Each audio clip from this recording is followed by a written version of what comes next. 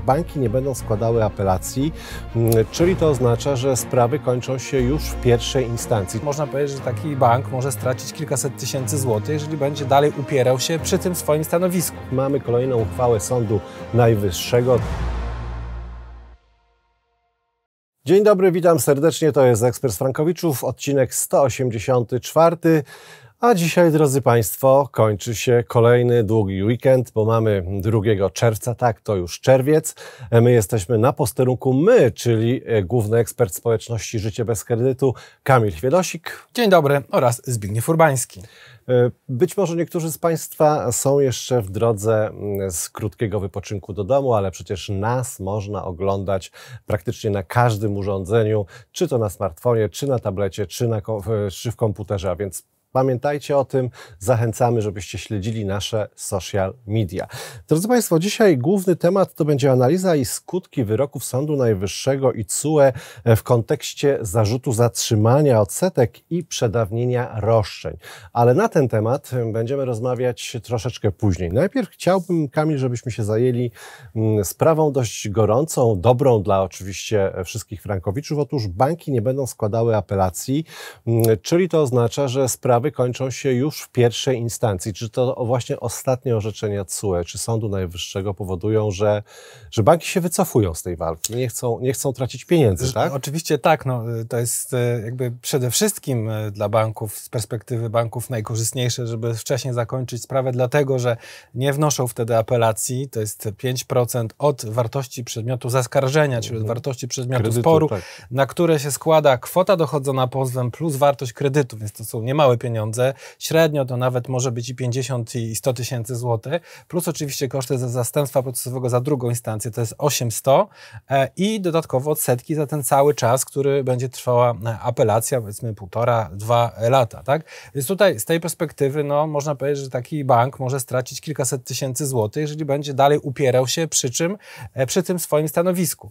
Natomiast no, na pewno nie można dzisiaj powiedzieć, że to jest tak jakby taka stała reguła, że już banki nie składają apelacji i że nic nie dzieje się po wyroku w pierwszej instancji, bo wręcz odwrotnie. Wtedy dopiero zaczyna się e, dużo dziać, dlatego że nasz Departament Mediacji i Ugód zaczyna wtedy e, negocjować z bankiem w tym celu, żeby bank już nie składał apelacji i żebyśmy mogli zakończyć sprawiedliwą ugodą, co najważniejsze, e, cały spór z bankiem. Cały, dlatego że również w takiej sytuacji bank zrzeka się swojego roszczenia, a jeżeli pozew jest złożony, to również wycofuje swój pozew mm, sądu. Dlatego tutaj y, trzeba powiedzieć, że faktycznie duża rola e, naszego Departamentu Mediacji i Ugód i ja uważam, że to, co jeszcze powiedzmy 10 miesięcy temu wydawało się niemożliwe, czyli to, żeby banki nie składały apelacji, dziś jest coraz bardziej możliwe, chociaż na pewno nie możemy zakładać, że będzie to już powiedzmy gremialne zachowanie banków i że banki na 100% już nigdy nie będą składały apelacji, ale logika podpowiada, że przynajmniej biorąc pod uwagę e, straty banku, działanie na niekorzyść banku, czyli niekorzyść spółki, e, faktycznie banki powinny zaniechać takich działań, dlatego że nic to e, wielkiego nie przyniesie, a jeżeli cokolwiek przyniesie wielkiego, to właśnie koszty. Drodzy Państwo, przechodzimy do tej analizy skutków wyroków Sądu Najwyższego i CUE. Mamy wyrok CUE C424 łamane na 22 z 8 maja. Potem mamy kolejny CUE C348 e, łamane na 23 i tutaj ta sprawa była inicjowana przez ekspertów społeczności Życie bez kredytu. Tak, tu gratulacje mecenas Budzewski i mecenas Chęcińska, która, którzy właśnie wygrali tą sprawę przed Trybunałem Sprawiedliwości Unii Europejskiej, ale możesz już nie wymieniać. No i Sąd dlatego, Najwyższy jeszcze, tak, to dlatego, też jest ważne ważne. Sąd Najwyższy. Przedawnienie roszczeń. Dokładnie. Wyroki Sądu Najwyższego, no i przede wszystkim uchwała 3 CZP 25 na 22, czyli ta uchwała całej Izby Sądu Najwyższego, no to absolutnie tutaj jest co analizować, tak powiedzmy. E, w ramach tej analizy oczywiście zapraszam e, na e, blog, na mój blog, gdzie ten cały, powiedzmy, te całe, wszystkie te zagadnienia zostały, myślę, że dosyć szeroko opisane, natomiast w krótkich słowach. No, przede wszystkim to są wszystko bardzo korzystne wyroki, czy postanowienia, czy uchwały na rzecz frankowiczów. I to właśnie być może jest jednym z tych powodów, że banki już coraz rzadziej są zainteresowane tym, żeby składać apelacje, przy czym tutaj oczywiście należy poczekać na to, jak to będzie wyglądało z perspektywy najbliższych miesięcy, bo wiemy, że w bankach takie decyzje na górze są podejmowane raczej w tej formie korporacyjnej przez e, dłuższy okres niż po prostu incydentalnie, tak jak chociażby u nas, jeżeli wiemy, że jest jakiś wyrok, wiemy, że co on oznacza, to natychmiast e, wskutek tego podejmujemy dalsze czynności, aby jak najbardziej ochronić interes członków społeczności życia bez kredytu. E, z drugiej zaś strony patrząc na to, co wydarzyło się czy w Sądzie Najwyższym, czy też właśnie te uchwały, wyroki, postanowienia, tak lepiej może Trybunału Sprawiedliwości Europejskiej, to wszystko pokrywa się dosyć mocno z tym, co, był, co miało miejsce e, w zeszłym roku, bo pamiętajmy, że w zeszłym roku tych wyroków Trybunału Sprawiedliwości Unii Europejskiej było najwięcej. I tutaj, jak przypomina Ministerstwo Sprawiedliwości, polskie sądy w tej chwili rekordowo dużo składają wniosków, czyli pytań prejudycjalnych do Trybunału Sprawiedliwości Unii Europejskiej, bowiem tych odpowiedzi już mamy 20 dwie na e, pytania polskich sądów. E, druga w kolejności jest Hiszpania, trzecia, jeżeli się nie mylę, to, e, to są Niemcy.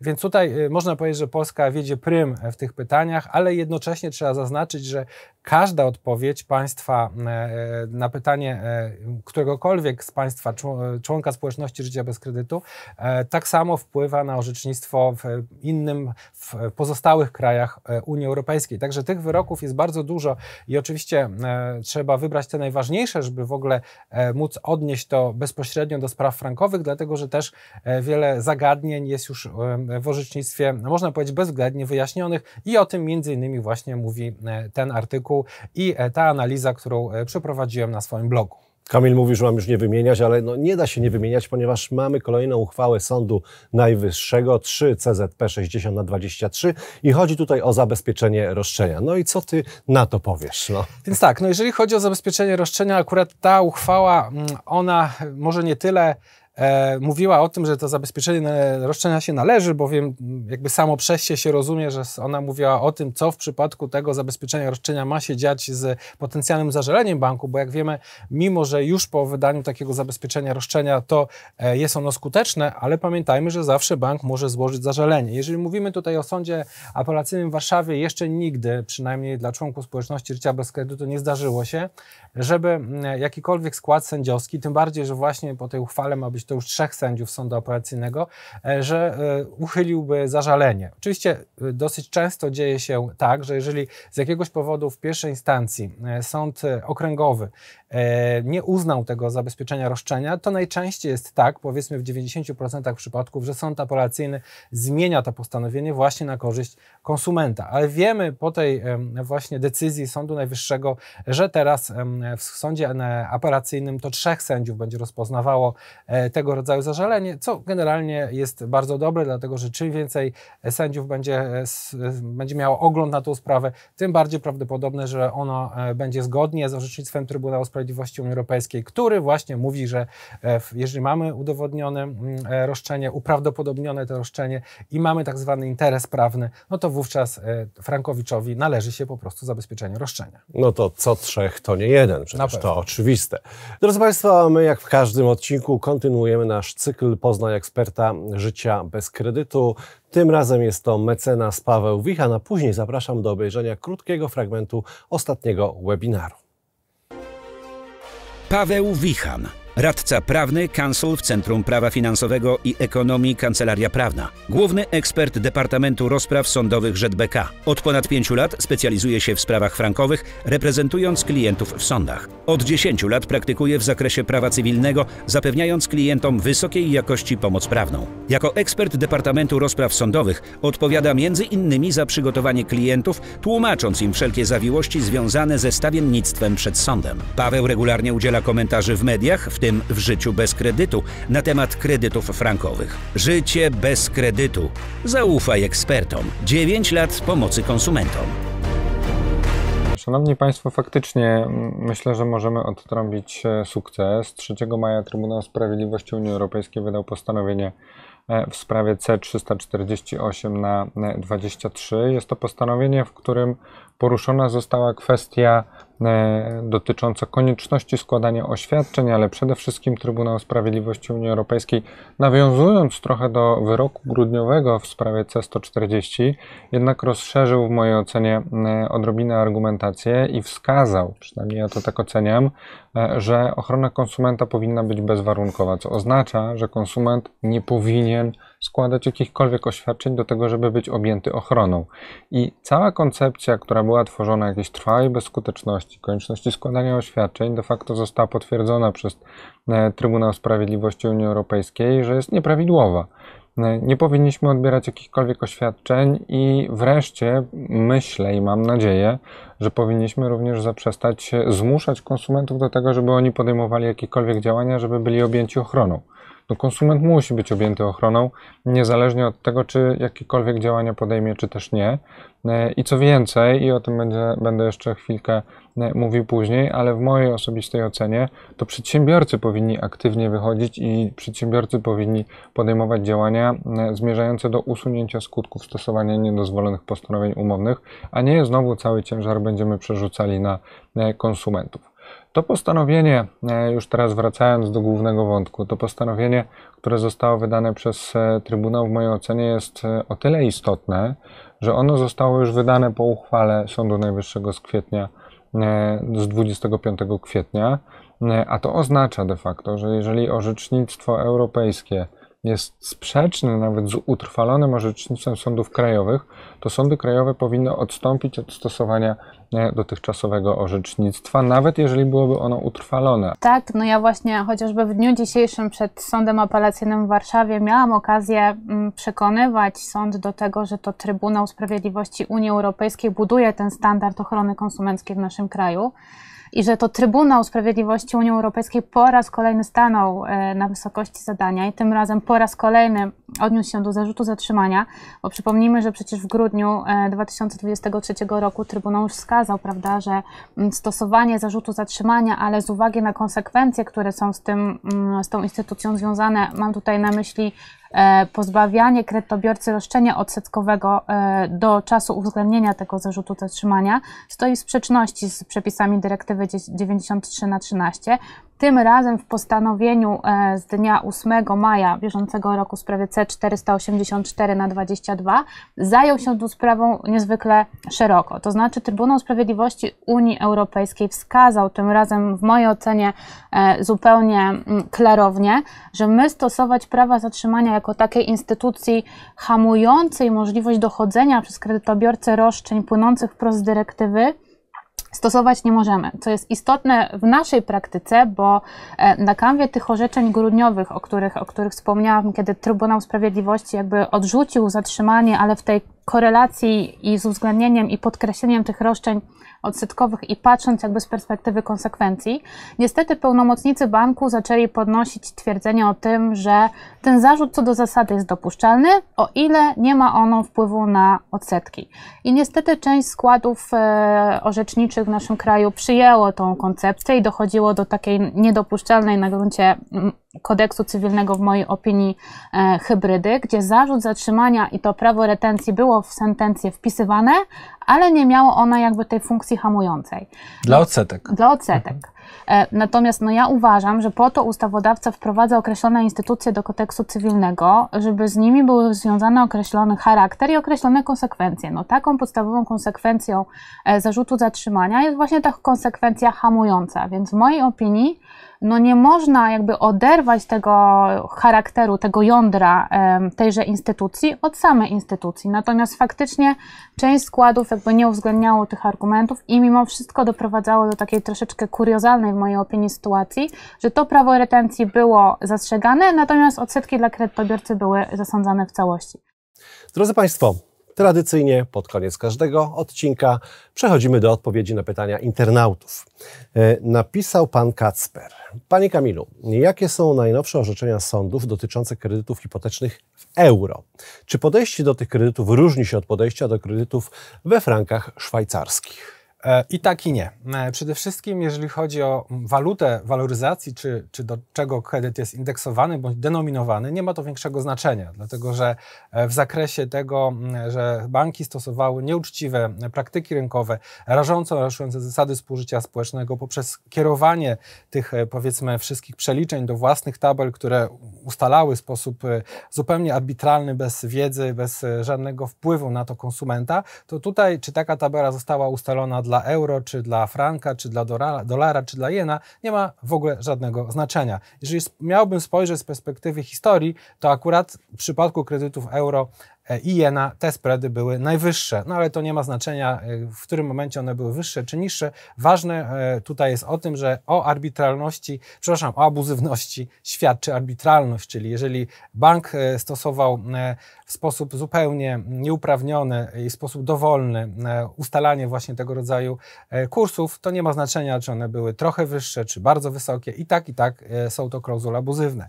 Zaś z drugiej strony patrząc, jeżeli znowu spojrzymy na doświadczenie, no trzeba tutaj dokładnie przeanalizować tego, w którym roku zostały zawarte te umowy waloryzowane do innych walut niż e, frank, dlatego że najczęściej kredyty frankowe były udzielane do roku 2008 9 w niektórych przypadkach, chociaż oczywiście zdarzają się takie, które zostały zawarte później, nawet do 2011 roku, ale już jeżeli byśmy spojrzeli na zakres tych e, umów, które były udzielane, no to te, te umowy w, chociażby waloryzowane do euro były e, najczęściej udzielane właśnie od roku 2009, no i przez kolejne lata, nawet do 2012 w wielu przypadkach.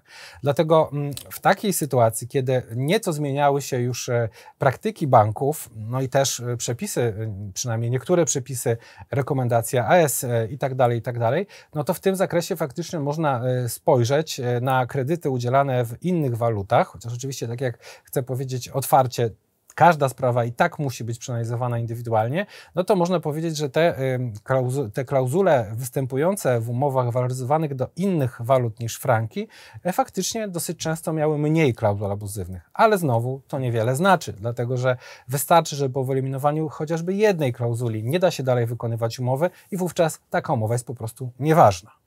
Kolejne pytanie mm, zadała pani Oliwia. Panie Kamilu, czy fakt, że od początku wynajmowałam mieszkanie, przekreśla moją szansę na wygraną, ponieważ będę miała status przedsiębiorcy? E, no tutaj znowu pytanie i tak i nie odpowiedź, dlatego że e, jeżeli to był najem prywatny, to nie ma żadnego znaczenia. Natomiast jeżeli była pani przedsiębiorcą i kupiła pani te nieruchomości pod to się mówi działalność gospodarczą, czy w ramach działalności gospodarczej.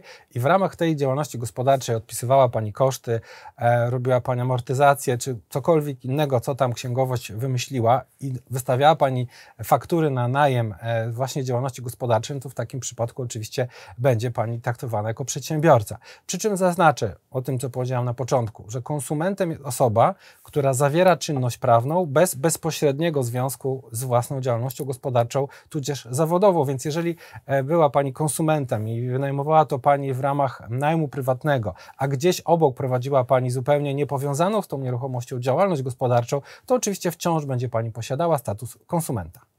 Drodzy Państwo, a teraz dwa krótkie filmy, które opowiadają o prawdziwych historiach członków społeczności ZBK. Rozpoczynamy od historii pana Andrzeja. Wygrani frankowicze społeczności Życie bez kredytu. Pan Andrzej Cholewa prawomocnie wygrał w marcu 2022 roku. Wyrok dał mu wolność finansową. Taki kredyt bardzo podkopuje pewność siebie. Nigdy nie było wiadomo, jaka będzie wysokość raty. To było psychicznie wykańczające, bo w takiej sytuacji nie da się niczego zaplanować. Dlatego wygrana to była wielka euforia. Żona też odetchnęła. Poczułem, że jest na tym świecie sprawiedliwość i można zacząć normalnie żyć. Pierwsze co zrobiliśmy, tak jak sobie obiecaliśmy, to pojechaliśmy rowerami wzdłuż Dunaju. Polecieliśmy do Bazylei, przesiedliśmy się na rowery i zrobiliśmy półtora tysiąca kilometrów. Dlatego warto pozwać bank. Życie bez kredytu. Zaufaj ekspertom. 9 lat pomocy konsumentom. A teraz historia pani Agnieszki i Krzysztofa. Wygrani frankowicze społeczności Życie bez kredytu. Państwo Agnieszka i Krzysztof Bujakowie prawomocnie wygrali w marcu 2022 roku. Wyrok dał im równowagę i właściwą percepcję życia. Ja byłam pracownikiem banku, więc w ogóle nie myślałam o tym, że przez konstrukcję tego produktu ktoś zamierza nas oszukać. Nigdy bym się nie spodziewała, że sytuacja rozwinie się w taki sposób, że kredyt stanie się nie do spłacenia i że wpłynie tak bardzo na całą naszą rodzinę. Będzie generował stres, niepokoje i strach o to, co przyniesie jutro. Kiedy wygraliśmy, tych złych emocji już nie ma. Zrobiło się spokojniej i mam poczucie, że w rodzinie jest mniej stresu. Możemy realizować swoje marzenia i pasje. Życie bez kredytu. Zaufaj ekspertom. 9 lat pomocy konsumentom. Drodzy Państwo, to wszystko, co na dzisiaj dla Państwa przygotowaliśmy.